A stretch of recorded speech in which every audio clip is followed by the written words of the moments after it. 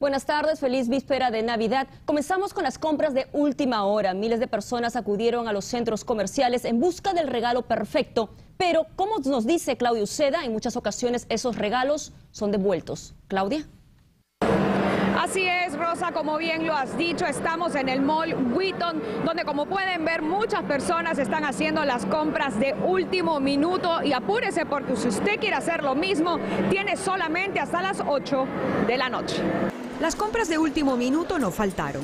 Me faltaron unos regalos que comprar y me tocó venir a buena mañana ahora a ver si los encontraba. ¿Qué es lo que está buscando? Ahorita para los niños, unos cuatro o tres más. Gente cercana, ya los compré solo unos cuantos, gente de trabajo que me falta. Y para sorpresas de muchos, a pesar de que las ventas navideñas empezaron muy bien en noviembre, en las últimas tres semanas se reportaron bajas.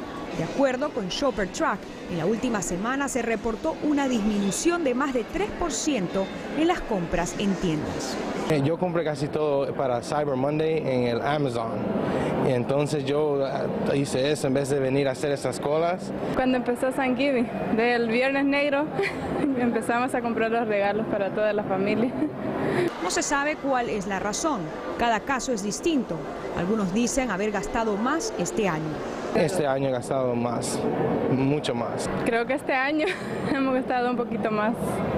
Otros no. El año pasado gasté más, casi, casi que al doble que esta Navidad. ¿Por qué? Por, eh, bueno, porque mi trabajo este año no me dio mucho para poder, este, um, para estos tiempos no me dio mucho para gastar. Si bien hoy todo el mundo compra, ya sea mucho o poco, el 26 de diciembre se espera la devolución de regalos. Antes de hacerlo, averigüe bien las políticas de devolución.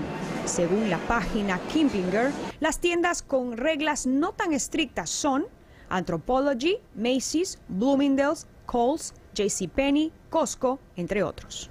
Las tiendas con las peores políticas de devolución son Overstock, Best Buy, GameStop, entre otros.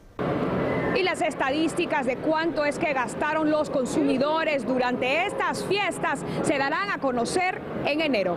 Y bueno, Rosa, esto es todo lo que tengo por el momento. Regreso contigo a los estudios. Gracias, Claudia.